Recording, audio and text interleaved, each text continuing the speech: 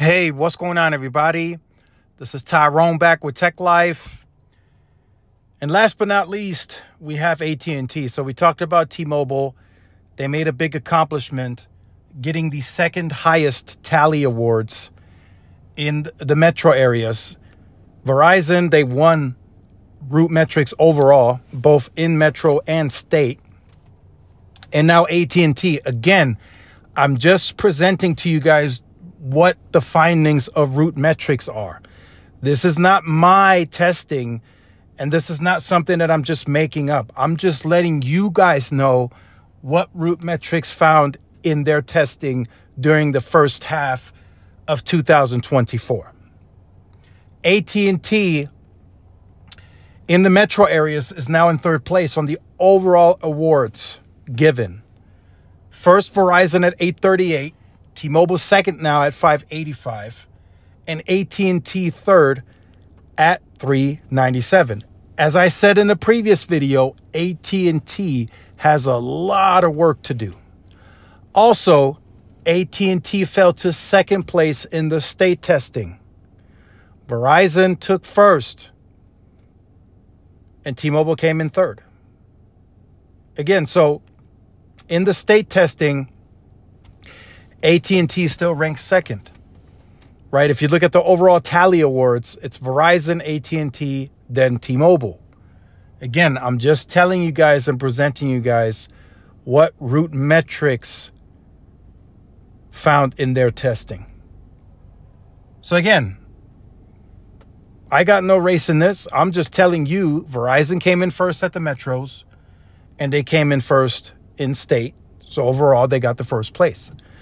Overall, AT&T got second and T-Mobile got third. But looking at the individual metro area tally awards, T-Mobile surpassed AT&T. You know, deal with it. They surpassed them. T-Mobile never ever was able to even get able to even get close of surpassing AT&T or Verizon just 5 6 years ago. Now today that's a different story. T-Mobile has more capital to invest. They have more spectrum deployed. They had a head start two years. All that good stuff, right? That's just me being honest, realistic, and objective. AT&T could come back and take this from T-Mobile.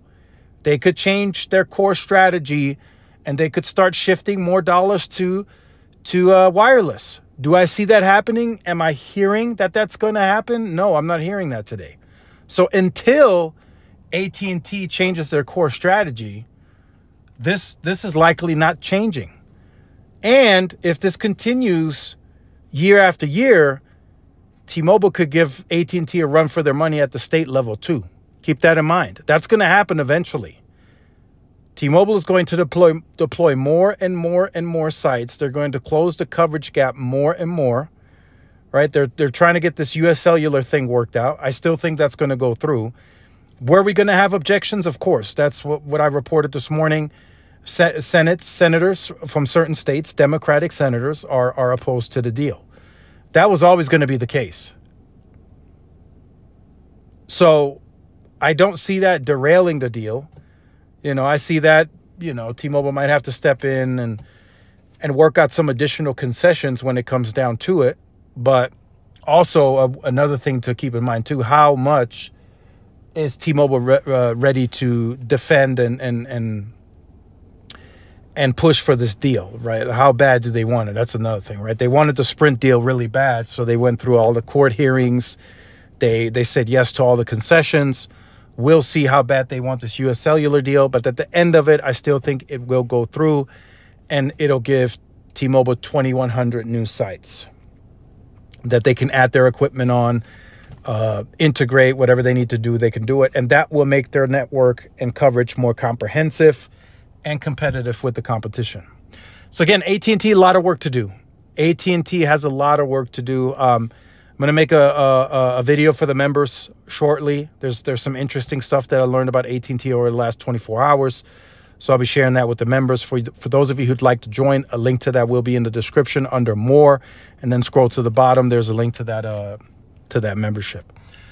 So let me know your thoughts in the comments. I'm not saying this is the end all be all for for AT&T. They still have right? They still have a very comprehensive wireless network. Wireless section is still their bread and butter today, even though they're investing more in fiber, but they're looking to scale and branch off into something else. And that something else is clearly fiber.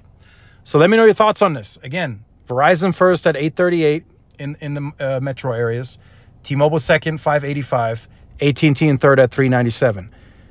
Overall, Verizon first at both the metros and the state level, AT&T second overall, but they finished third at the metro level. They finished second at the state level, and T-Mobile came in second at the metro level, but they couldn't uh, get enough wins at the state level, so they came in third place overall. So let me know your thoughts in the comments. Like, share, subscribe, follow my social media outlets. This is Tyrone with Tech Life. See y'all in the next one. Peace.